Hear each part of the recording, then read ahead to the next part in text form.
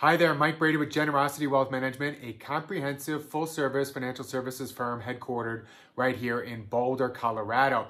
Although you can see from my backdrop, I am actually up at my cabin in Dubois, Wyoming, where I spend every summer. I continue to work here. Um, I have wonderful views. As a matter of fact, I was going to record this video outside of our rustic cabin um, but it was too sunny and I kept squinting. So I'm gonna uh, put up on the screen a couple of photos that I've taken this morning so you can get an idea of uh, what I look at when I'm looking outside of my the windows of my of my office up here.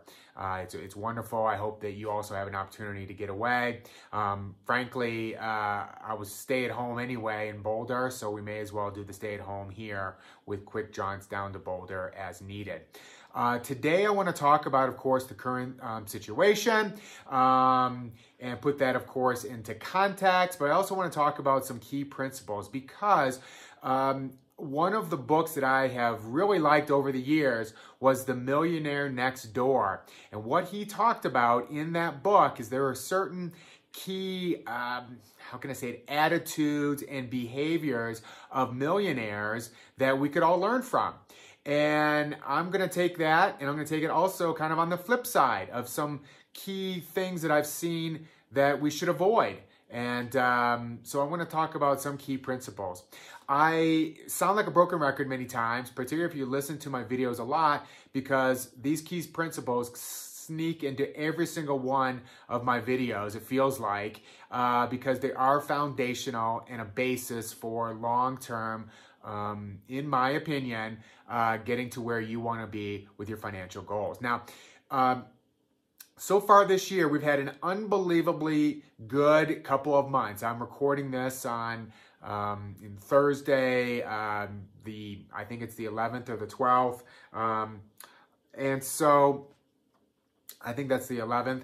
And you know, it's it's nobody saw this happening so quickly uh, two months ago. And one of the key principles that I have is humility. Um, you know, it's amazing to me that when people talk about the future or they hear someone talking about the future, they talk with such confidence that they they almost believe that it's going to happen. And then when it doesn't, they somehow forget. And then the next person around gives them such confidence um, about what is the future, and that's not very helpful. So I'm going to come back to this key principle. Up on the screen, I have shown over the last 25 years the ups and downs in um, the S&P 500, which is an unmanaged stock market index. Now, while we have gone through a couple of really difficult times, like 2008, and this year, which was very sharp, very, very painful in a very um, uh, short amount of time, I would argue that you know someone who's been around for 30 years doing this professionally, working with clients and etc., is um, 2000, 2001, and 2002 were some of the most difficult years, not because they were the lowest, but because it was one year followed by another by another. Duration and um, and losing the faith after a while is what really dooms many people in you know in my experience. Um, those people who um, you know lost the faith and then wanted to go to money market or CDs, you know around 2002 2003 did not see the nice upswings that have happened over the next 10 or 15 years. Up on the screen, you're going to see an arrow uh, next to where we are now. Uh, you know, I think nobody foresaw the sharp upswing in the stock market over the last, uh, you know, two, two and a half months or so. I'm recording this on Thursday. And so, yes, uh, today is a down day. Yes, it's going to get lots of um, good news coverage and very um, newsworthy. You know, there's an old adage that uh, the stock market takes the stairs up and the escalator, or sorry, and the elevator down. And that just means that it's kind of 200, 300 points, you know, et cetera, et cetera. And then it gives it up very quickly. Um, one of my key principles, which I'm going to get to in a minute, is um, being overly optimistic or being overly pessimistic. If only um, you know you look at the negatives, you're doing yourself a disservice and I think that you're going to be unhappy and uh, along this path. Um, so uh, let's go to another chart. This is um, a chart that shows since the last major financial crisis in 2008. And there were 10 major pullbacks along that. Okay, 10 major pullbacks, of which the worst one was this last March. It is important for us to remember that it is a long-term strategy and you don't take short-term events and extrapolate them into long-term um, decisions if your goals are long-term.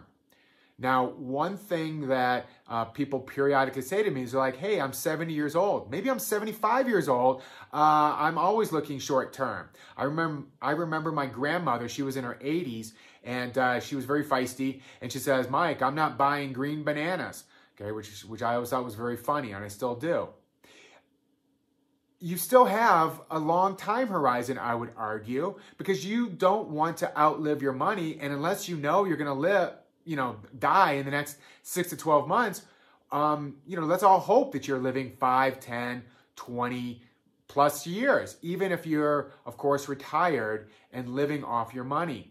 Um, most people that I meet with don't want to outlive their money and they want to pass on the most that they can to the charities they care about or their heirs. And so we can still invest for a multiple year time horizon. Therefore, we should not be uh, allow our emotions to be controlled on a daily, weekly, or even a monthly basis. So it just is not helpful to you, um, and it's it's going to make you um, you know very very unhappy. On um, on that screen though, I am showing where we are right now. Um, you know, nobody saw two, three months ago what we have now. And so now I'm going to start um, pivoting over to some key principles, which is the first one of humility.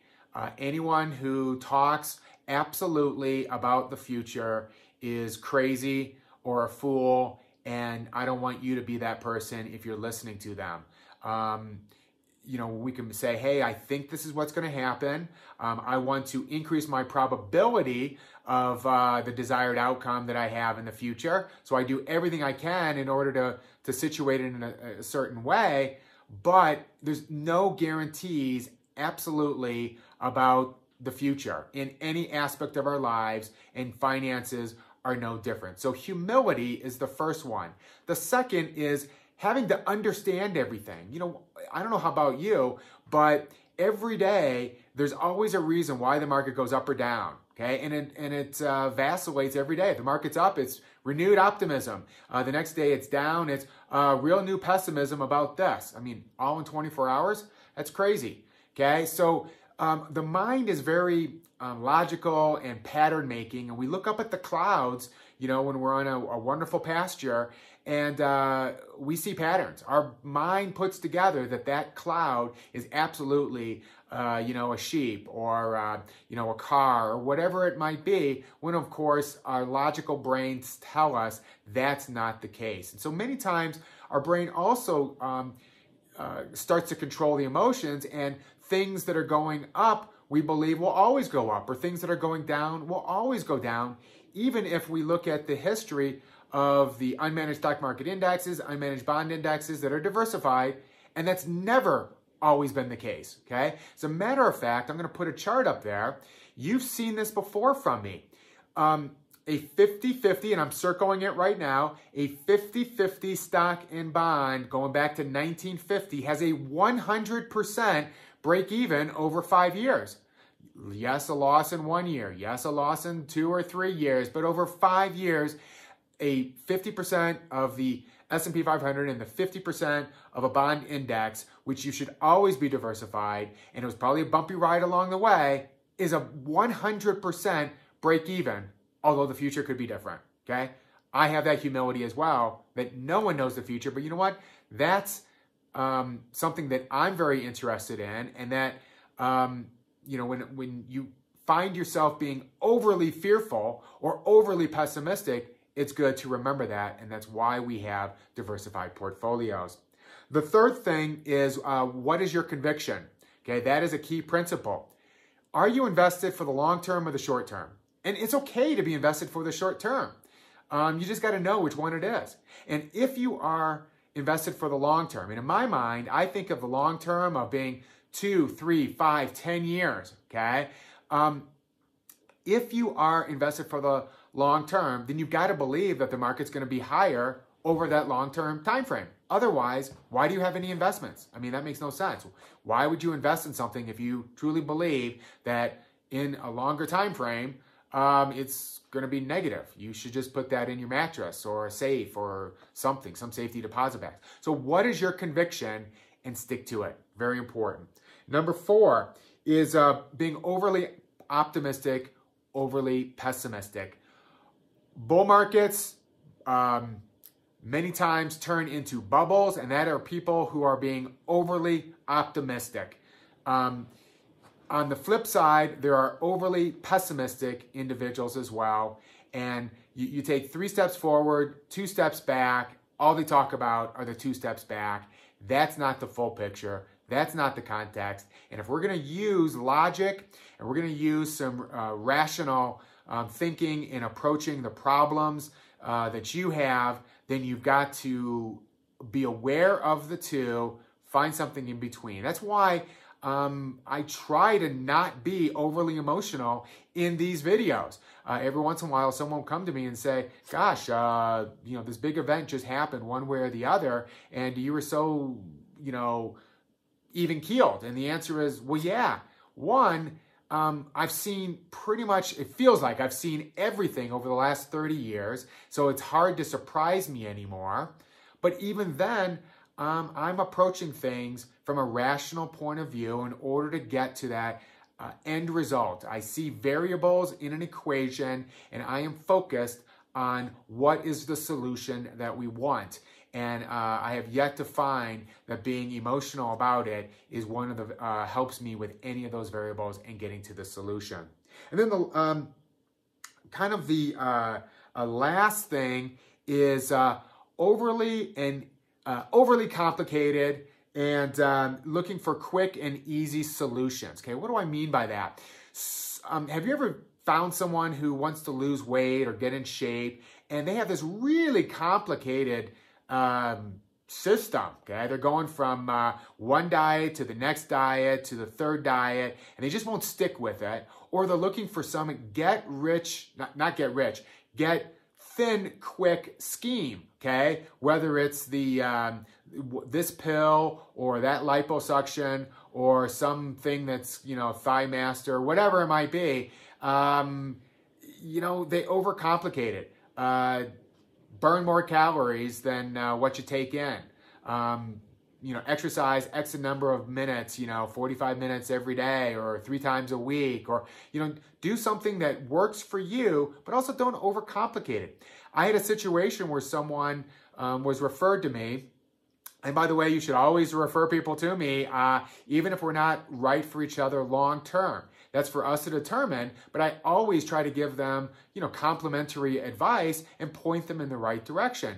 And this was actually someone who'd been referred to me long time ago, and it's very painful because they just can't seem to um, make good decisions. Like the millionaire next door, they're the opposite.